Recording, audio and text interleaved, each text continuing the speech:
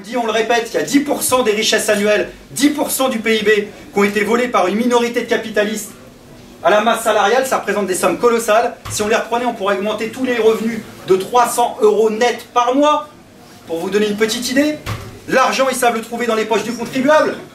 Il y a 670 dispositifs différents d'aide aux entreprises pour créer de l'emploi avec le succès qu'on connaît.